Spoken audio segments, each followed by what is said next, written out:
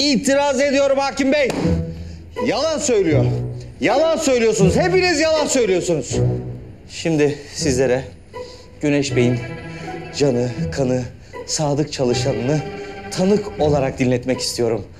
Yani kendimi.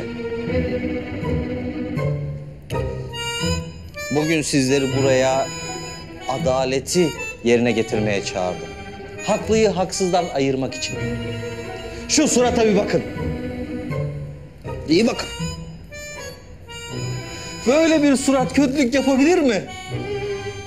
Sizce suç işleyecek bir suratı var mı bu adamın? Kamer! Buyurun efendim.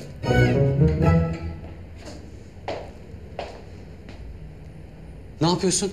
Davaya hazırlanıyordum da.